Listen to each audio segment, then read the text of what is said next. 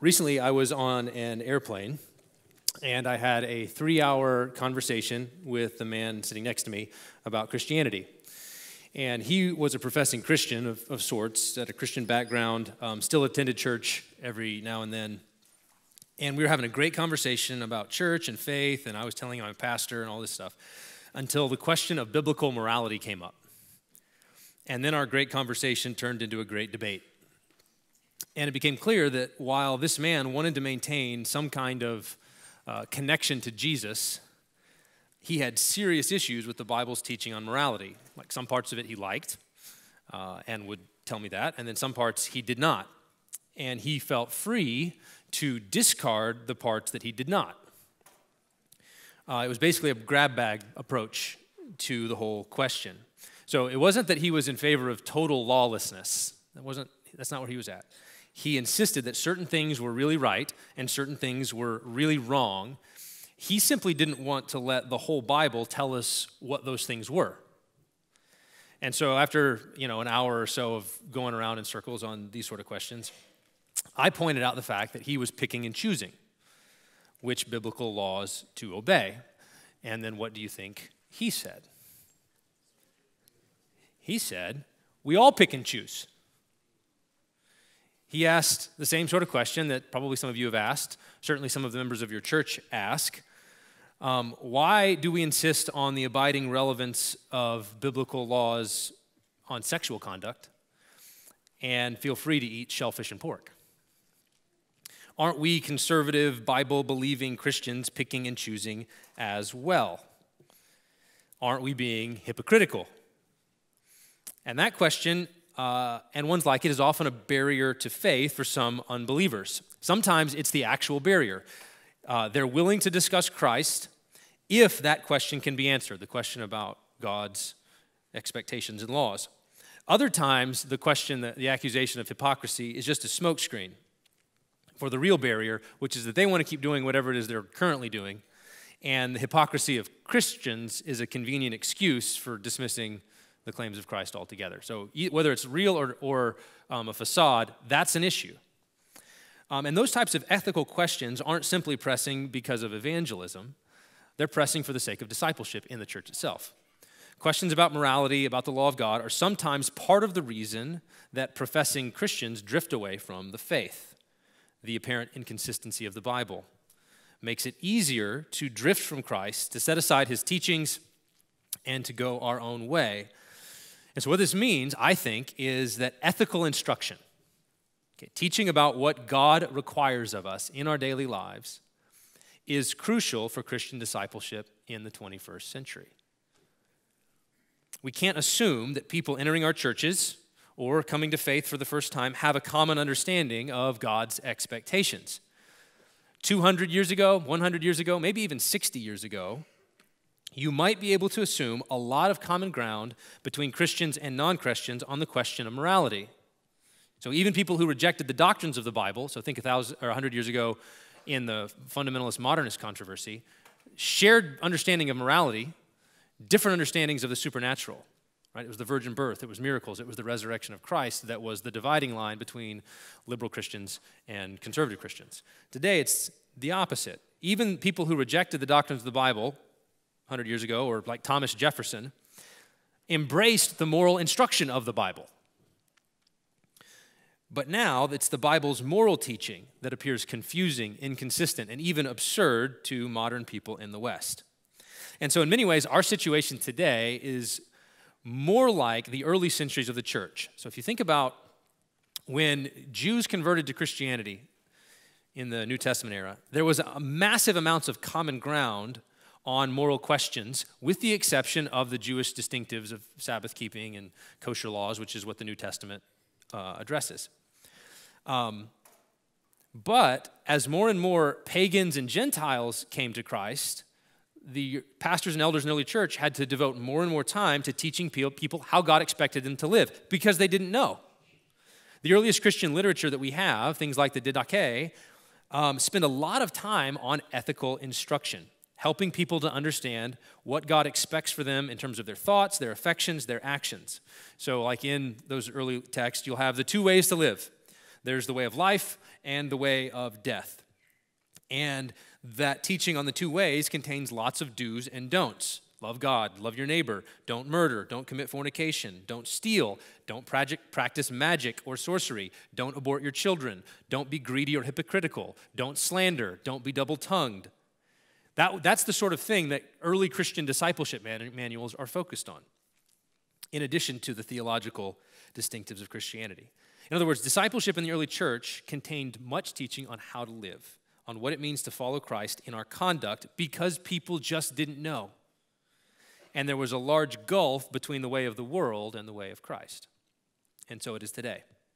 Which means one of the pressing challenges for ministry is to gain and offer clarity on what our obligations before God are for the sake of evangelism and the sake of discipleship.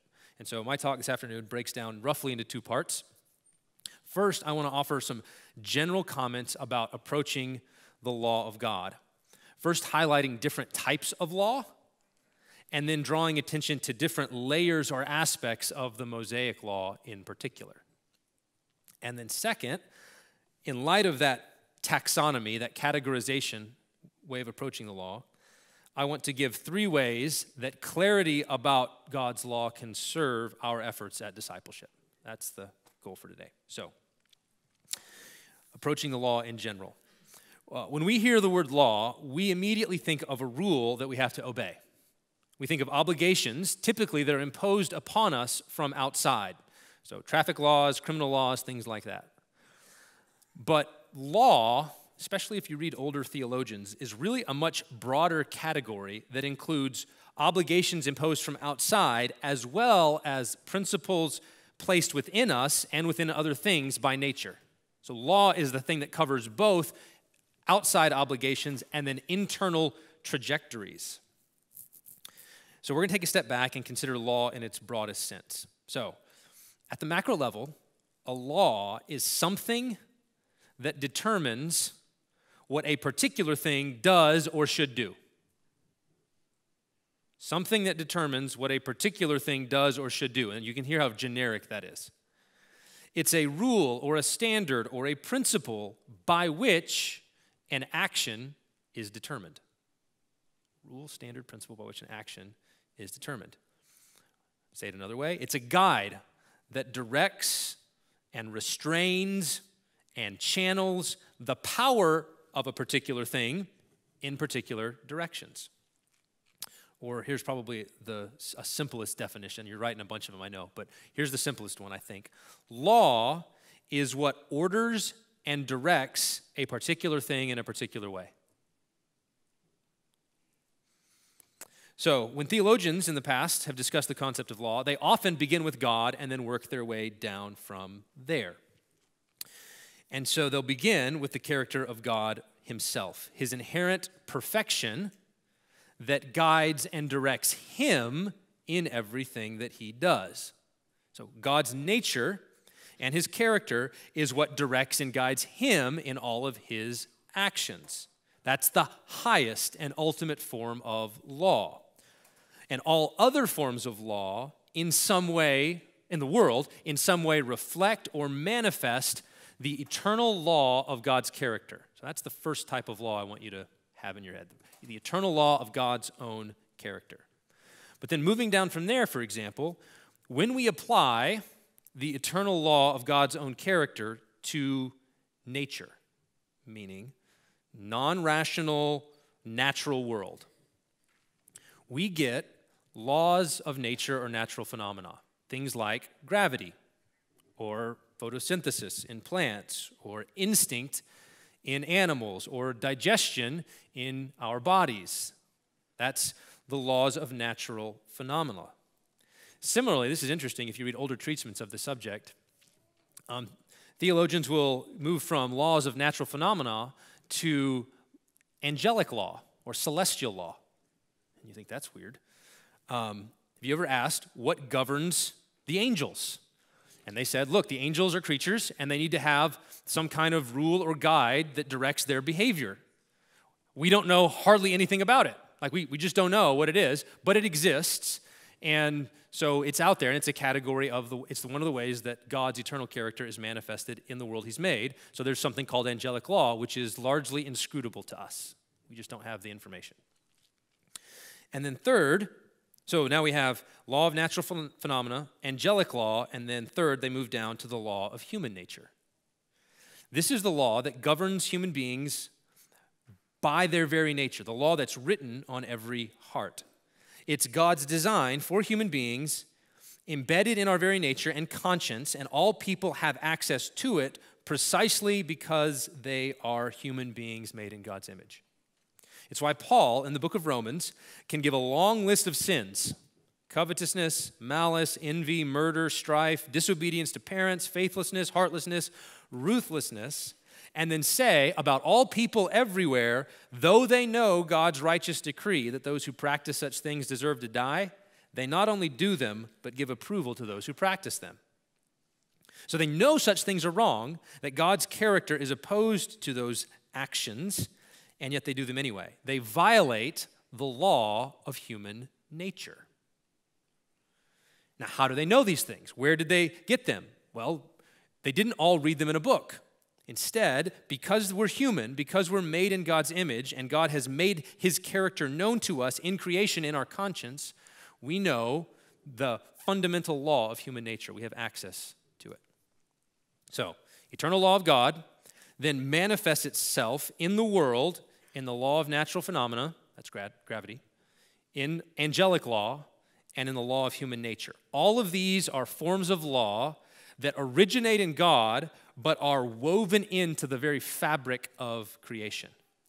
But then, on top of that, we can talk about, and, and this is, I'm going to use this term, and I'm not sure if it's the best one, but it's what I'm going to use, so I'm going to define it the law of grace. Okay, now here's what I mean by law of grace. This is the kind of law that we don't and can't know by nature. In other words, you need God to tell it to you from outside of you. You don't know it because you look inside and, and your conscience convicts you. You only know it if God reveals it to you through special revelation. After the fall, it's the kind of law that tells us how we can be made right with God. In other words, the gospel would be the highest example of law of grace. Now, I know that's a little bit confusing because typically we put law on one side and gospel on the other. We can talk that way. Here, we're talking about law in the broadest sense. And so, in this sense, the gospel is a form of, it's an obligation that's meant to guide us. It's how we know how we can be made right with God. So, the gospel is not written on our hearts by nature. It's written on our hearts by grace. In order to know the gospel, we need a preacher who comes to us from outside. We need good news from outside of us, not simply knowledge from our conscience.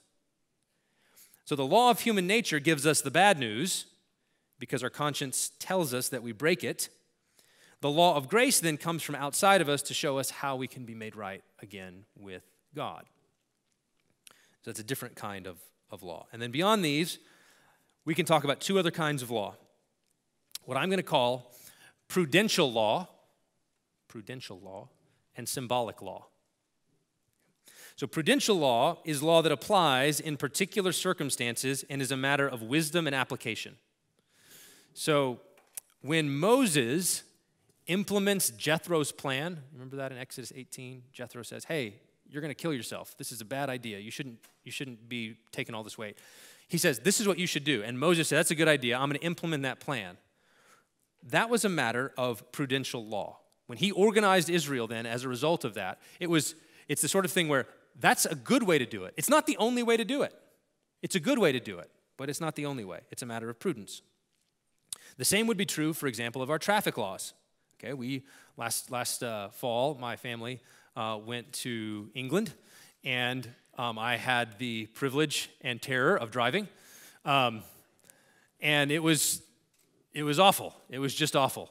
Um, I white knuckled it the whole way because everything was backwards. And now, is there a right way and a wrong way to organize your traffic laws? The answer is there's not one right way or one right wrong way. It's just there's a good way and there's another way. Okay? Um, right? It's like the old joke um, um, about worship. You know, we both worship God, you in your way and me in his. Um, so, prudential law, like traffic laws, like the Jethro's outline for organizing Israel, that's prudential law. We need to decide which side of the road to drive on and when to stop and go, but those laws aren't universal and they can be changed. Second category here is symbolic law. Symbolic law. And this refers to laws that are not rooted in nature, but instead are designed to teach and instruct us in some way. So things like circumcision in the Old Testament, baptism in the New Testament, and the Lord's Supper are examples of symbolic law that aren't rooted directly in human nature, but are instead intended to represent and remind us of God's works in history. And often, symbolic law is tied especially to that law of grace. It's one of the things that represents and reflects that more fundamental law of grace.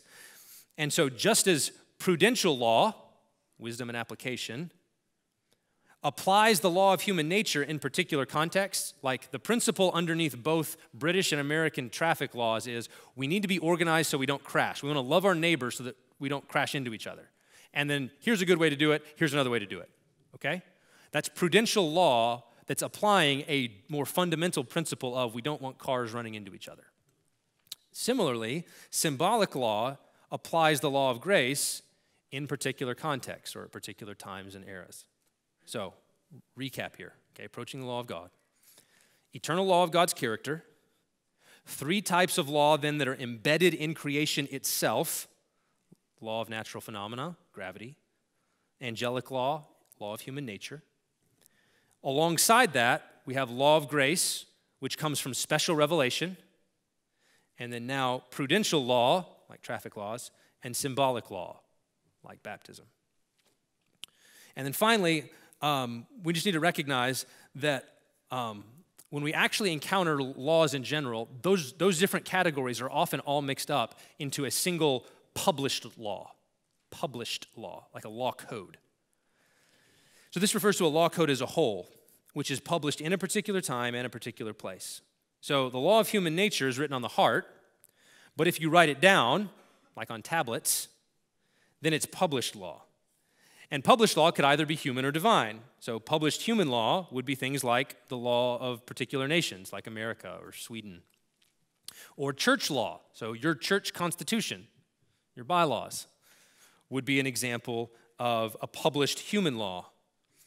Uh, or a code of conduct in a company. Like if you run a business and you have a code of conduct, that would be human law. Um, also, you would have published divine law. That would be things like the law of Moses or even the Sermon on the Mount. In many cases, good published law will build on the law of human nature, but frequently clarify or extend or apply that universal law of human nature so that we have clearer and more direct knowledge of what God expects from us. That's how published law tends to clarify, extend, and apply that fundamental law that we have embedded by nature. So, now turn and think with me a little bit carefully about the law of Moses, for example. So, when we're talking about law of Moses, we're dealing with published divine law. It's a law code, and it's an integrity, it's a whole law code. And that has important implications for how we approach it.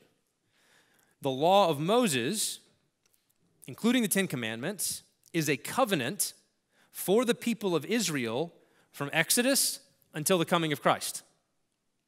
It's God's law for God's people in a particular era of redemptive history which means that as Christians, we are not directly under the Mosaic law at all, including the Ten Commandments as a covenant. We're not under the Ten Commandments as a covenant. It was a covenant for a different era of redemptive history.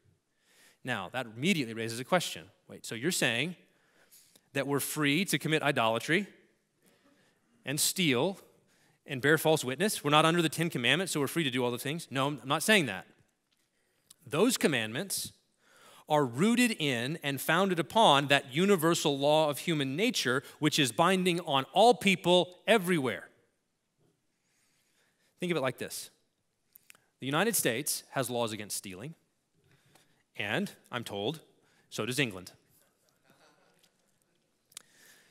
If you steal something in the United States, you can be punished, but you won't be punished by a British court.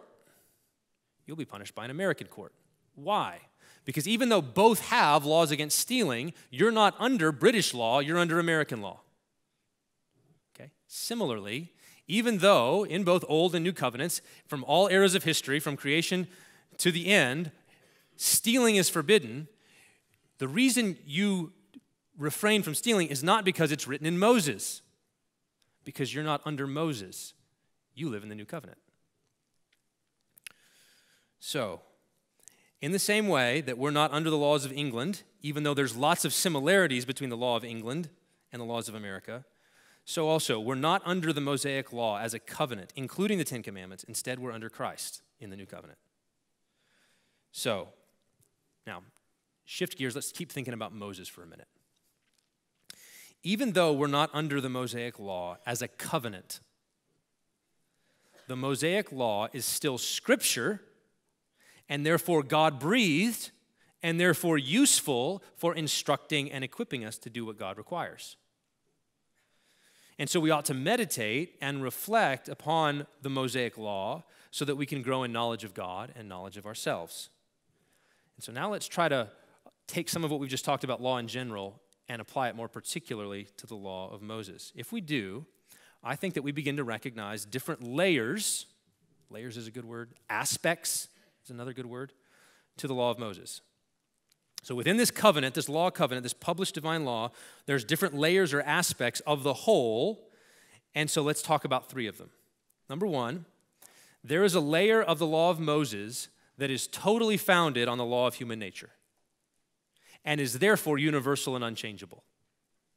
Don't murder and don't steal have always been requirements for human beings. So when God wrote the laws on the tablets, he wasn't giving Israel new information. It wasn't like murder's totally fine, and then Moses comes down the mountain and the people are like, oh, that's new. Murder was always a violation of God's character as it's imprinted on human nature. The, sim- the sixth commandment simply republishes that universal law of human nature in a clear verbal way because as fallen human beings, we're prone to ignore it and disobey it. So you might think of it as God telling you twice once because He made you, but you suppress and ignore it. And then again on tablets so that you really know it. You can't evade uh, the, the obligation. So we know God's righteous decree against murder and theft. We know it by nature, and we do it anyway. And so the natural law layer of the law of Moses, which I think includes much of the Ten Commandments, as well as laws that are related to those Ten Commandments, is still binding on us, not because we're under the law of Moses, but because we're human beings made in God's image. And this layer of the law, theologians often refer to as the moral law. It's the moral law. That's the first layer. Second layer there is a layer of the law that is not founded on the law of human nature, but instead on symbolism and typology. Remember, we talked about symbolic law a moment ago. So, those laws about circumcision, or about clean and unclean animals, or about sacrifices, they reflect that layer of the law. And this layer, unlike the first, is changeable. This is important. It's changeable. Eating pork was once contrary to God's law for his people. It was a sin. But it wasn't a sin because it was a law of human nature. It was a sin because it was teaching Israel something. And we could talk more about what that particular something is on any of these cases, but we're getting categories here. Once it was wrong and contrary to God's law to eat pork. Now it's not. And thank God. At one time, sin required the killing of a goat or an oxen. Now it doesn't. Theologians call this the ceremonial aspect of the Mosaic Law. So there's a moral aspect and a ceremonial aspect. And I'm calling them aspects because I don't want you to think that there's certain laws that are just moral, pure and simple, and certain other ones that are totally different that are ceremonial because sometimes they could be mixed up together. You could have a, a ceremonial aspect and a moral aspect in the same published law. Finally, there's a layer of the law of Moses that includes applications of the law of human nature in a particular context. A lot of Old Testament case law falls under this category. So the laws that begin if your oxen breaks out and gores someone, this is the penalty. And if he was in the habit of breaking out and goring people, it's worse. Okay? Or um, if a man steals an ox and sells it, then he must repay fivefold. Now, this aspect often contains particular penalties, particular punishments for disobedience. And this layer, even though this layer doesn't directly apply to us, because we're not under Moses, this layer is still an example and a model for us as wisdom as we seek to apply the universal law of human nature in our own context. These case laws can often show us how serious certain violations of the law are. Like we can learn based on how God punished things in the Old Testament, how big of a deal was it? And if it's still binding on us in some form, how serious should it be for us today? This layer is often called the judicial or the civil aspect of the law. So let me pull some of these threads together. Again, we're trying to get categories, and then I'm going to say, why, does that, why are we spending time in a conference that's trying to help pastors serve their people? Why spend time doing this sort of thing? Why does it matter? So we'll come back to that, but let me summarize first, okay? How do we approach the law? God's holy character is reflected and expressed first in the law of human nature, which is universal and unchangeable, all times and all places. The law of Moses is a specific, published covenant between God and his people for a particular era of redemptive history. The laws within it contain various layers in various combinations. There's a moral layer, which is connected to that universal law. There's a ceremonial layer, which teaches through symbols and images and can be changed when God chooses. And there's a judicial layer, a civil layer, which applies the moral and ceremonial layer in Israel's context with particular penalties, and then which we can use as wisdom in our own attempts to apply God's law. But as Christians, we're not directly under the Mosaic law as a covenant, we're under grace, we're in Christ, all authority has been given to him as the head of the new covenant.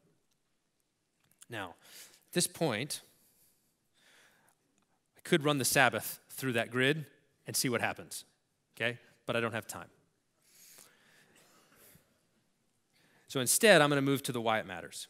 Why does this matter? How does clarity about the law of God serve our discipleship in the 21st century? I've got three things here. First, clarity on the law serves discipleship because it helps us to answer the guy on the airplane, whether he's a Christian or not. It answers the accusation that as Christians, we're being arbitrarily selective in insisting that homosexuality is a, gra- is a grave offense against God while wearing polyester and eating bacon wrapped shrimp is not.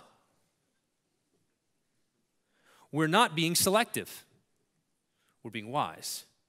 We're being careful readers of our Bible, and we're learning who we are and when we are and where we are, and therefore which aspects of the word apply to us.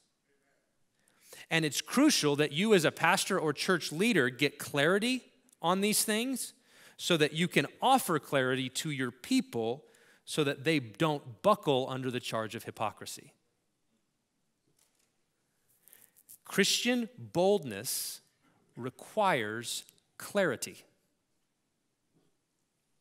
You won't, and your people won't, preach the gospel clearly, both the good news and the bad news, if there's confusion about what God requires. And if there's a fear that we're being hypocritical in insisting on things like biblical sexual ethics while not obeying kosher food laws. Clarity in our categories serves Christian witness because with that clarity, we have confidence in what God requires of us and therefore what Jesus demands from the world. That's the first reason why this matters, why getting clear matters. Second, clarity serves our discipleship because it helps us rightly orient to debates and discussions within the church. It gives us different categories to put certain issues in different categories. Particularly, it helps us to distinguish between nature and scripture and culture. Nature, scripture, culture. English is nice that it's got, you know, a nice little Chur, chur, chur there. I liked it. Anyway, um, you guys are all pastors. You get that. You're like, oh, yeah. It's like reverse alliteration. It's like not at the front, but it's at the back. Okay. By nature, I mean that law of human nature that establishes the built in tendencies and trajectories that make us human. That's nature. Scripture is the promises and commands of God recorded in the Bible. And then culture is the customs and traditions in particular times and places. That includes things like hot dish, holidays, removing your hat when you go indoors, bowing your head to pray, sending Christmas cards. These are customs, traditions, culture. Now, all of those are authorities. Nature, scripture, and culture all have authority, but they have, they're different kinds of authorities. Natural tender, tendencies are just there. They're embedded in your head. They're just like gravity is there. That's how you obey it. It's just there. Uh, when it comes to Scripture, we believe the promises and we obey the commands. And then when it comes to customs and culture, we respect and we honor them.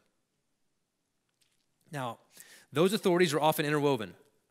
Um, a pastor friend of mine relates custom and nature in this way. He says, this is a good definition of a custom.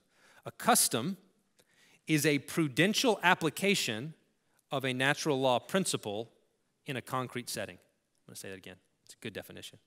A custom is a prudential application of a natural law principle in a concrete setting. So notice that beneath the custom is some kind of principle, a tendency, a trajectory.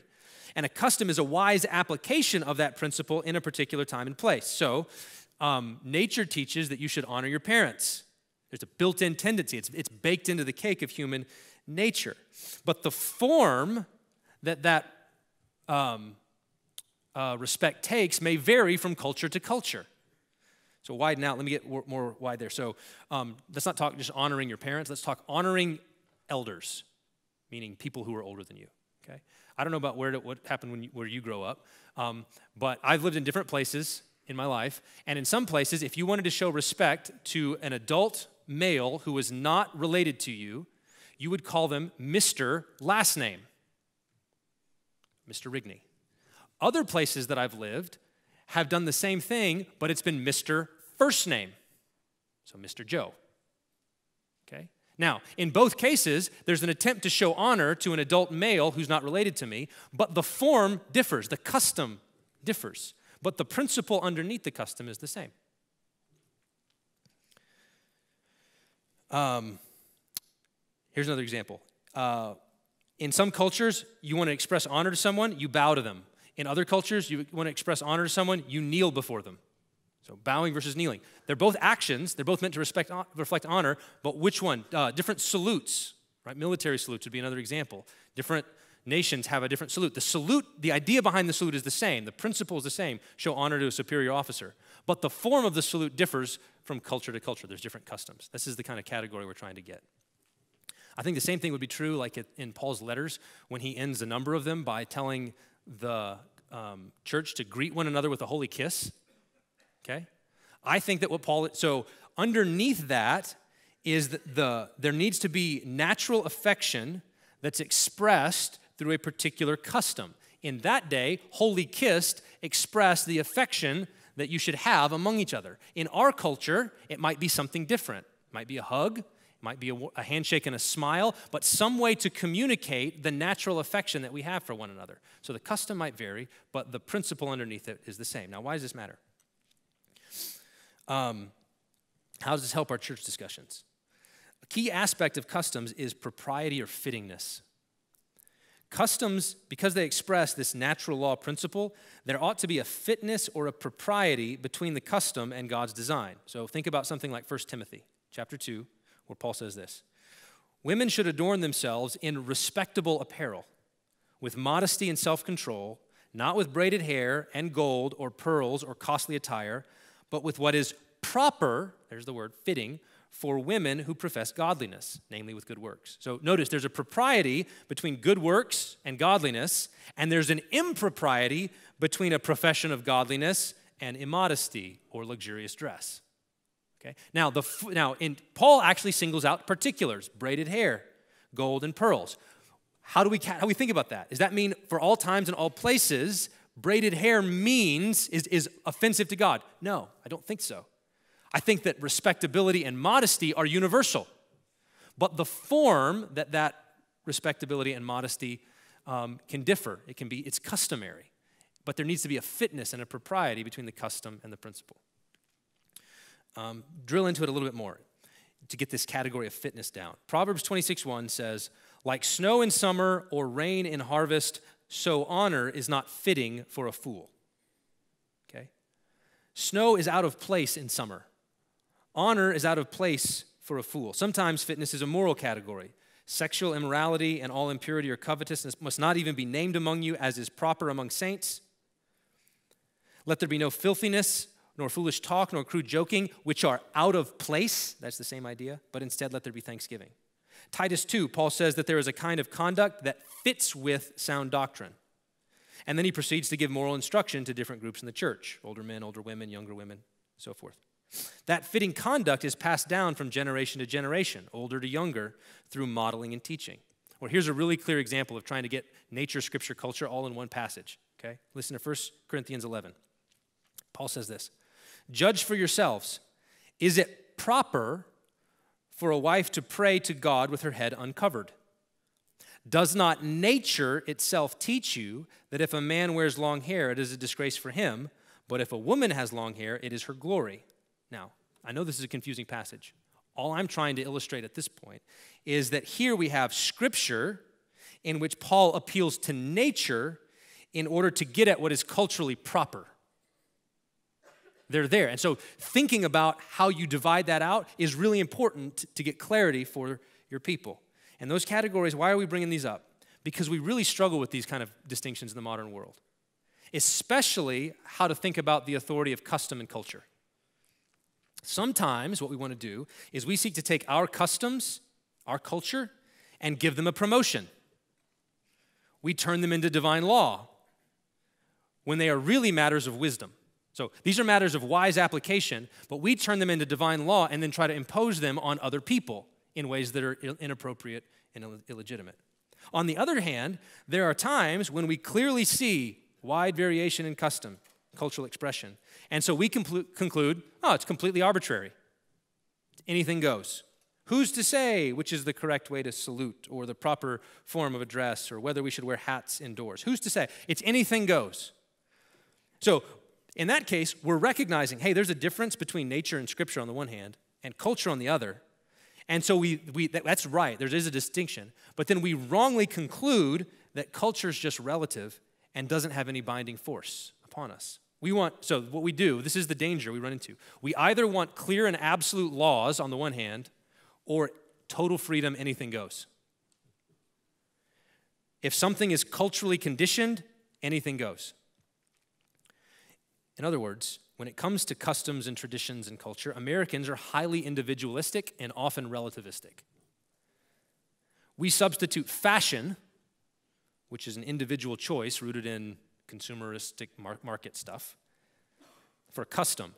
Customs are often communal practices that endure over time. So that makes it difficult for us. We're individualistic. Second factor that makes it difficult is the simple fact of mobility. This is really important for you to get, okay? Because we have cars and because we move, it's difficult for us to establish stable custom over time. Because customs require stable communities, communities where people uh, are born, grow up, live, die, and they pass on the customs of their people from generation to generation. A highly mobile society militates against that completely because you've got all sorts of people with all sorts of customs getting slammed together. This is at least a problem. I'm a pastor in the Twin Cities. This is the sort of thing we run into. Maybe if you're in a more rural or suburban context, there's more stability and you can actually have stable custom. Um, because people are often moving in and out, because groups tend to segregate by age, and because the endurance of customs over time requires them to be handed down generation to generation, it's hard for us to really wrap our minds around it.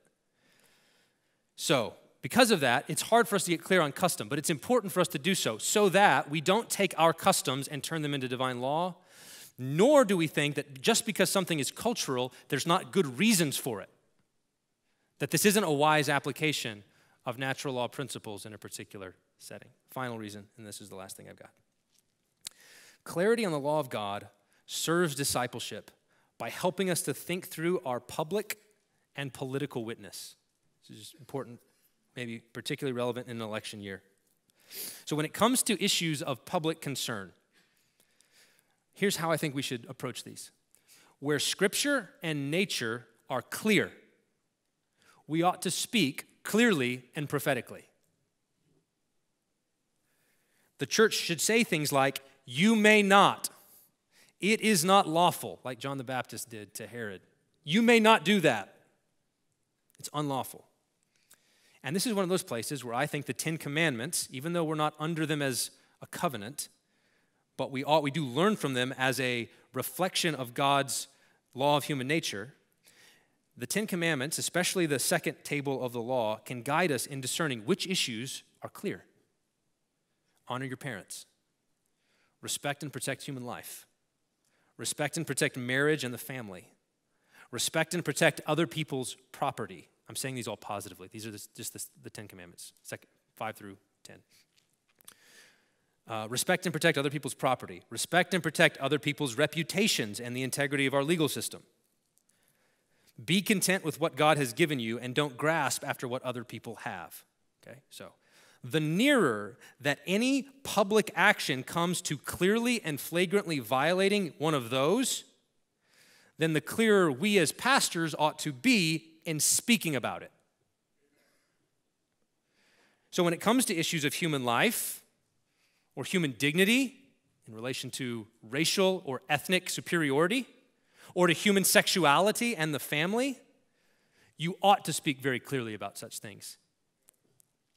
At the same time, clarity about the law reminds us that there are many areas of politics and lawmaking and public policy that don't infringe obviously and directly on those fundamental rights, those fundamental obligations.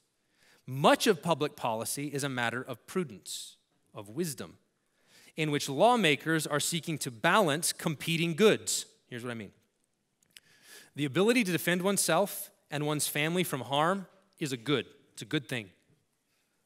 The ability to keep wicked men from having easy opportunities to inflict violence on the weak is also a good thing. Debates about the right to bear arms and gun control and proper restric- restrictions, anything related to that, ought to be about prudently and wisely navigating those competing goods. Or how about this? The disposition to welcome foreigners and refugees is good. Upholding the rule of law and preserving societal stability, also a good debates about immigration ought to be, ought to be about prudently and wisely navigating those goods, which can sometimes be in tension. The same is true about healthcare, tax rates, deficits, environmental protection. These are areas of prudence and folly, not necessarily of clear righteousness and wickedness, although in some cases they might be clear righteousness and wickedness there. And they are areas where people of goodwill can and will disagree. And so, as pastors, we must not turn every speech into prophetic speech. There is no, thus saith the Lord, about the appropriate tax rates or immigration rates or environmental regulations. There are general principles of justice and equity, and there's priorities that can be set. And then there's space for us as human beings to use wisdom to apply those principles in our various contexts. And therefore, our orientation to those kind of debates and to those who disagree with us on those issues ought to reflect the difference. So, consider this an exhortation as you evaluate your orientation to the hot political topics of the day. Okay? All of these issues are important. God's law does speak to them in some way, and you should care about them. And you could develop informed views on a whole host of issues, but it's vital to make distinctions. There is a time to say, You may not, it is unlawful, this is wicked. And there is a time to say, these issues are really complicated, let's reason together. And in a hyper reactive age, in which social media rewards tribalism and amplifies the most extreme rhetoric, Christian faithfulness means learning the difference between when we must be prophetic and when we must absolutely not. So then, for the sake of our own clarity and boldness and witness, for the sake of wisely guarding and guiding our churches through the thorny thickets of nature, scripture, and culture, And for the sake of prophetic and prudent witness in the world, it's vital that we gain clarity on how we approach the law of God. And may He help us do so. Let me pray. Father, we do need your grace, your wisdom. We need your spirit to guide us so that we rightly divide the word of truth, that we make the distinctions that you've placed there. And it takes wisdom. It's, um, you've not always made it easy for us when it comes to some of these questions. And part of growing up into maturity is learning to think clearly and to apply wisely your word in settings that are totally different from when it was written. So help us, God. Give us categories as pastors and church leaders. Give us categories that we can own and feel confident in so that we can then teach and instruct others for the sake of our people and for the sake of the gospel witness in the world. In Jesus' name, amen.